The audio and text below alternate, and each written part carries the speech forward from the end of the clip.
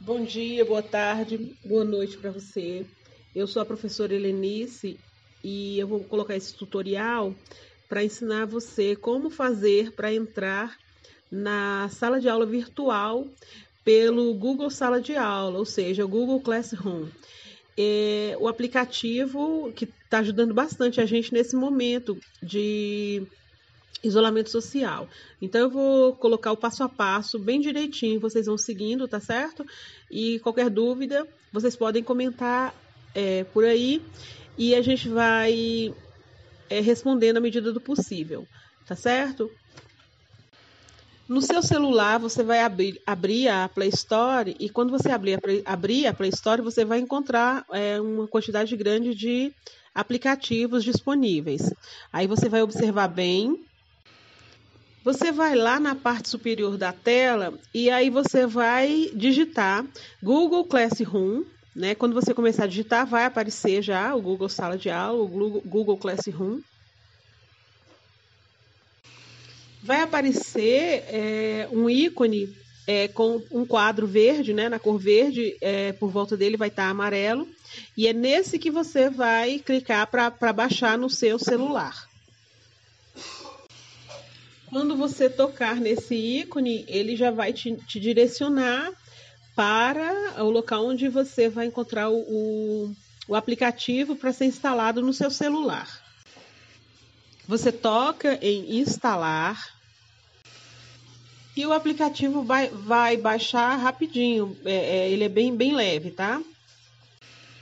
Quando já tiver instalado, você vai clicar lá, você vai tocar lá em abrir. Você vai chegar no Google Classroom e vai ter lá uma, uma, orientação, né? O aplicativo Google Sala de Aula ajuda as turmas a se comunicar, economizar tempo e manter tudo organizado. Primeiros passos. Aí você toca onde está escrito primeiros passos, e aí quando você tocar, vai aparecer uma, uma janelinha escrito escolha uma conta Google Sala de Aula. É importante você ter uma conta Gmail. Só vai, você só vai conseguir fazer o acesso se a sua conta for Gmail, tá certo? Então você cria um e-mail é, da Gmail para poder fazer é, é, entrar para poder baixar esse aplicativo.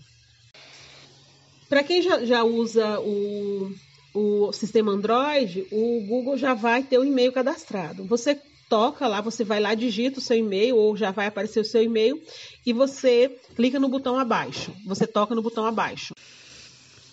Em seguida, você clica em OK. Então, você vai ser direcionado para o Google Sala de Aula.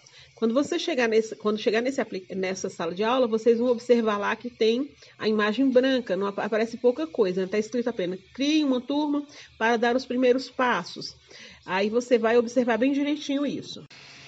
Quando você observa, lá em cima, no, no canto superior direito, tem um sinalzinho de mais. Você vai clicar nesse sinal e aí vai aparecer duas opções para você.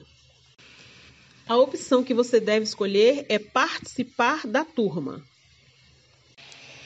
Então, vai aparecer a seguinte informação: peça ao seu professor um código da turma e digite-o aqui.